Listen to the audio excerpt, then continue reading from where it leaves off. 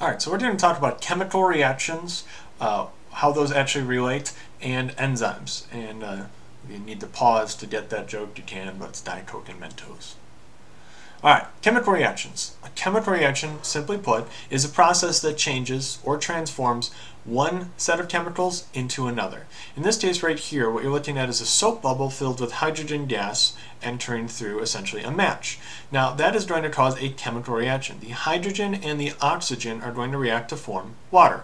The hydrogen is inside the gas bubble, the oxygen is of course in the air, and that will form a chemical reaction as through that process that you see right there with the flame, boom, it is going to form a new set of chemicals. Now, there's probably another uh, chemical reaction that's not quite as, you know, flamboyant and in your face, but rust. Rust is a chemical reaction between iron and oxygen. Now, normally you think, but it's normally between, you know, iron and water. Well, the water um, has oxygen in there. That's the part that's actually reacting with it to form uh, rust. Alright, so we're going to talk about chemical reactions and uh, the basics of how they work. So what I have right here is I have iron and oxygen. Iron is Fe, oxygen of course is O2.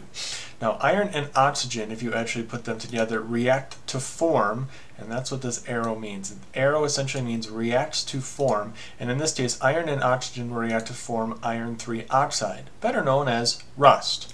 So in this case right here, in this chemical reaction, iron and oxygen are actually the reactants. That's what I start with. And that means that the iron 3 oxide that they make is actually the product, or what they produce.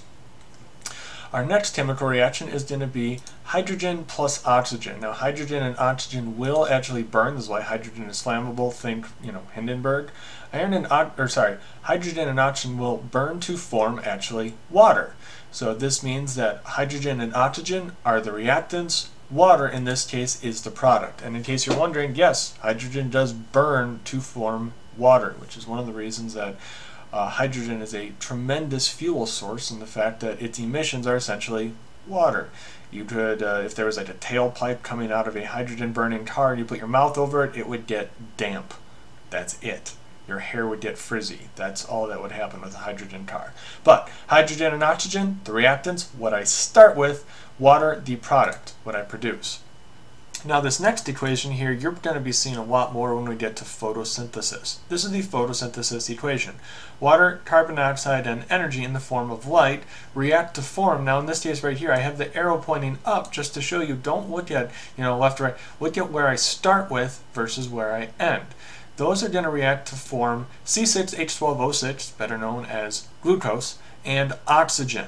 So in this case, look at where I start with. I'm starting with hydro, uh, with water, carbon dioxide, and light, and I'm making sugar and oxygen. So in this case right here, water, carbon dioxide, and light are my reactants, what I start with, and sugar and oxygen are what I end with.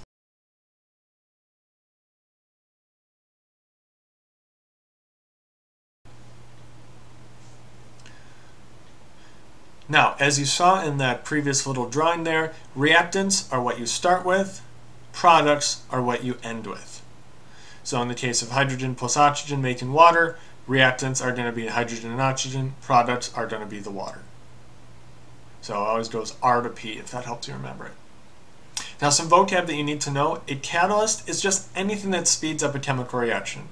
Now, I don't know if you know this, but it, uh, steel will rust if you leave it in water, but when you combine that with salt, that is going to actually speed up that chemical reaction. This is why things rust so badly after a, a, winter where they throw a lot of salt down on the road that can make steel parts of cars rust. In that case, the salt is a catalyst. It speeds up a chemical reaction that would actually take place. An enzyme is what you call a protein catalyst that's only present inside the body. So you recall proteins that we already learned about before. They are special catalysts that just speed up chemical reactions that happen in your body. You absolutely need them. They make life possible. And a substrate is going to be a different name for what we would call reactant. It's what you start with in an enzyme reaction. So instead of reactant to product, when you're talking about enzymes, you replace the word reactant with a substrate. So as you can see right here, I have uh, an enzyme on the bottom in blue and a substrate on top.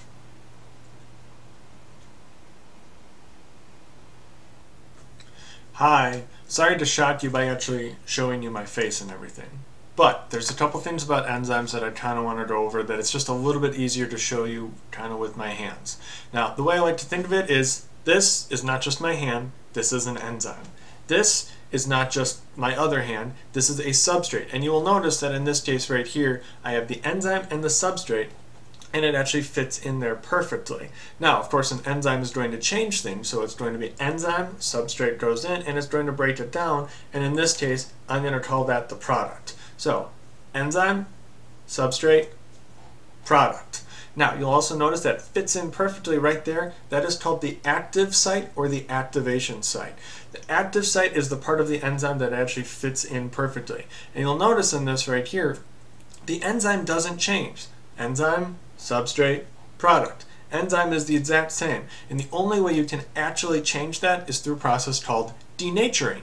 Denaturing is something that you do like, think of it as like a, a blowtorch. If I was to take a blowtorch to my hand, for stuff, ow. But in this case right here, all my fingers would be doing that, and that would change the active site of the enzyme so that the substrate could no longer fit inside and make a product. So, just to review, enzyme, substrate, product, active site, and something called denaturing or denaturation would change the shape of this so that it could no longer fit inside there.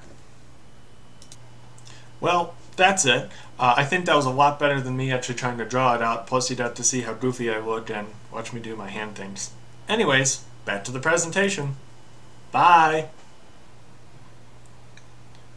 Alright, so let's talk about enzymes. As I already mentioned and showed you, they have an active site where they bind perfectly. Think of it as a lock and a key. Now in this case right here, I actually have the lock right here. That would be the enzyme. The part that actually goes in, the keyhole, that would be the active site.